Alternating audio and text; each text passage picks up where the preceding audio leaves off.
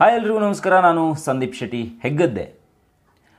ಸಿನಿಮಾಗಳಲ್ಲಿ ನಾವು ನೋಡಿರ್ತೀವಿ, ಅಕ್ಕ ತಂಗಿಯನ್ನು ಮದುವೆ ಆಗೋದು, ಆದರೆ ನಿಜ ಜೀವನದಲ್ಲಿ ಅದು ಅಷ್ಟಾಗಿ ಎಲ್ಲೂ ಕೂಡ ಜಾಸ್ತಿ ನಡೆಯೋದಿಲ್ಲ, ನಡೆದ್ರೂ ಅಲ್ಲೊಂದು ಇಲ್ಲೊಂದು ನಡೆಯುತ್ತೆ. ಆದರೆ ಮೊನ್ನೆಯಷ್ಟೇ ಕೋಲಾರದಲ್ಲಿ ಇಂಥದ್ದೊಂದು ಮದುವೆ ನಡೆದಿದೆ. ಅದು ಯಾಕೆ ಆ ರೀತಿ ಆಯಿತು, ಅದರ ಅಸಲಿ ಕಾರಣ ಏನು ಇತ್ಯಾದಿಗಳ ಬಗ್ಗೆ ಇವತ್ತಿನ ವಿಡಿಯೋದಲ್ಲಿ ಸಂಪೂರ್ಣವಾದ ಮಾಹಿತಿಯನ್ನು ಕೊಡ್ತೀನಿ. ಮೊದಲ ಬಾರಿಗೆ ವಾಹಿನಿಯನ್ನು ನೋಡ್ತಾ ಇದ್ದರೆ ದಯವಿಟ್ಟು ಸಬ್ಸ್ಕ್ರೈಬ್ ಮಾಡ್ಕೊಳ್ಳಿ.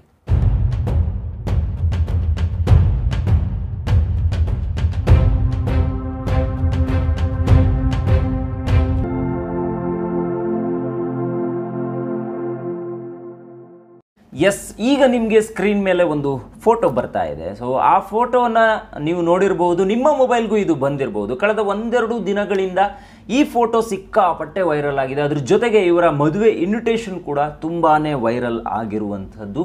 ಆದರೆ ಈ ಮದುವೆ ಹೇಗೆ ಆಯಿತು? ಅಥವಾ ಈ ರೀತಿ ಅಕ್ಕ ತಂಗಿಯನ್ನು ಒಬ್ಬ ವರ ವರಿಸಬೇಕು ಅಂದರೆ ಅದು ಸಾಧ್ಯನಾ ಅನ್ನೋದು ತುಂಬ ಜನರಿಗೆ ಒಂಥರ ಗೊಂದಲ ಇರುತ್ತೆ, ಒಂಥರ ಆಶ್ಚರ್ಯನೂ ಕೂಡ ಆಗುತ್ತೆ.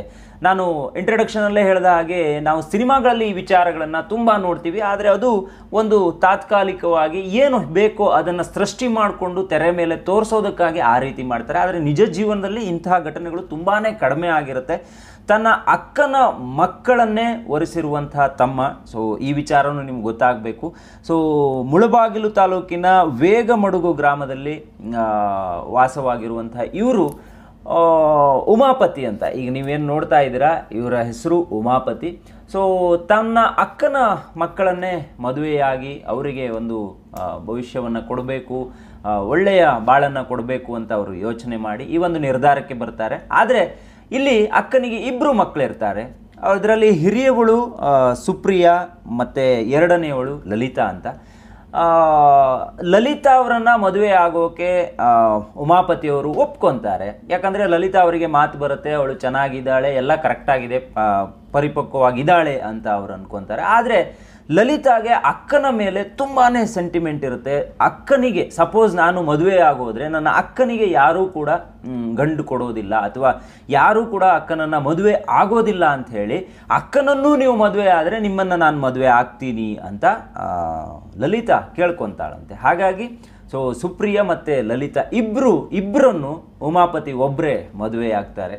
ನನಗೆ ಈ ವಿಚಾರವನ್ನು ನೋಡಿದಾಗ ಒಂದು ಕಡೆ ಆಶ್ಚರ್ಯ ಆದರೆ ಇನ್ನೊಂದು ಕಡೆ ತುಂಬ ಉಮಾಪತಿಯವರಿಗೂ ಹ್ಯಾಟ್ಸಪ್ ಹೇಳಬೇಕು ಅಂತ ಅನ್ನಿಸ್ತು. ಜೊತೆಗೆ ಲಲಿತಾ ಅವರಿಗೂ ಕೂಡ ನಾವು ಇಲ್ಲಿ ನಿಜವಾಗಿ ಅಪ್ರಿಷಿಯೇಟ್ ಮಾಡಬೇಕು.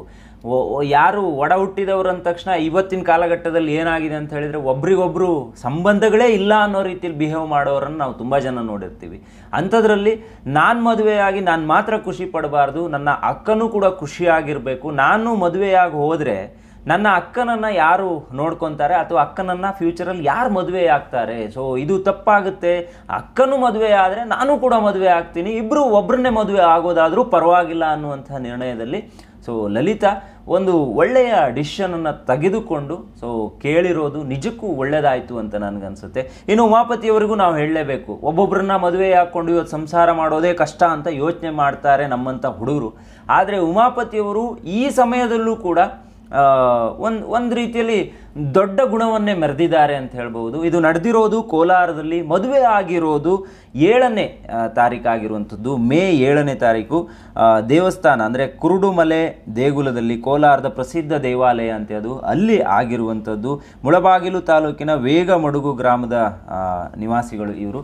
ಸೊ ಇದು ಬೇರೆಯವರಿಗೂ ಕೂಡ ಮಾದರಿ ಅಂತ ನನಗನ್ಸುತ್ತೆ. ಹಾಗಾಗಿ ಈ ವಿಚಾರವನ್ನು ನಿಮಗೂ ತಿಳಿಸ್ಬೇಕು ಅಂತ ಈ ವಿಡಿಯೋನ ಮಾಡಿರೋದು. ಸೊ ಅಸಲಿ ಕಾರಣ ಇದೇ ಆಗಿರುವಂಥದ್ದು. ಬೇರೆ ಏನೋ ಮಾತಾಡೋಕೆ ಅವಕಾಶನೇ ಇಲ್ಲ ಇಲ್ಲಿ. ಬೇರೆ ಏನೋ ಹೇಳುವ ವಿಚಾರಗಳೇ ಇಲ್ಲ ಅಥವಾ ಬೇರೆ ಯಾವುದಾದ್ರೂ ನ್ಯೂಸ್ಗಳು ನಿಮಗೆ ಬಂದರೂ ಅದನ್ನು ಅಲ್ಲಿಗೆ ಮುಚ್ಚಿಬಿಡಿ. ಯಾಕಂದರೆ ಇದು ಒಳ್ಳೆಯ ಕೆಲಸನೇ ಅಂತ ನನಗನ್ಸುತ್ತೆ. ಅಕ್ಕ, ತಂಗಿ ಇಬ್ಬರನ್ನು ಒಬ್ಬನೇ ವರ ಒರೆಸಿರೋದು. ಅದರಲ್ಲೂ ಅಕ್ಕನಿಗೆ ಮಾತು ಬರಲ್ಲ ಅಂತ ಗೊತ್ತಿದ್ದು ತಂಗಿಯ ಒಪ್ಪಿಗೆಯ ಮೇರೆಗೆ, ಇಡೀ ಮನೆಯವರ ಒಪ್ಪಿಗೆಯ ಮೇರೆಗೆ ಮದುವೆಯಾಗಿ ಒಂದೊಳ್ಳೆ ಬಾಳನ್ನು ಕೊಡೋದಕ್ಕೆ ವರ ಮುಂದೆ ಬಂದಿರೋದು ನಿಜಕ್ಕೂ ನಾವೆಲ್ಲ ಅಪ್ರಿಷಿಯೇಟ್ ಮಾಡಲೇಬೇಕು. ನಿಮಗೆ ಏನನ್ನಿಸ್ತು ಅನ್ನೋದನ್ನು ದಯವಿಟ್ಟು ಕಮೆಂಟ್ ಬಾಕ್ಸಲ್ಲಿ ಬರೆದು ತಿಳಿಸಿ. ನನಗಂತೂ ಖುಷಿ ಆಯಿತು ತುಂಬಾ ಹ್ಯಾಪಿ ಆಯಿತು. ಸೊ ನಾನು ಅದಕ್ಕೋಸ್ಕರ ಈ ವಿಡಿಯೋನ ಮಾಡಿದ್ದೀನಿ. ನಿಮ್ಗೆ ಏನನ್ನಿಸ್ತು ಅನ್ನೋದನ್ನು ದಯವಿಟ್ಟು ಕಮೆಂಟ್ ಬಾಕ್ಸಲ್ಲಿ ಬರೀರಿ. ವಾಹಿನಿಯನ್ನು ಮೊದಲ ಬಾರಿಗೆ ನೋಡ್ತಾ ಇದ್ರೆ ಸಬ್ಸ್ಕ್ರೈಬ್ ಮಾಡ್ಕೊಳ್ಳಿ. Thank you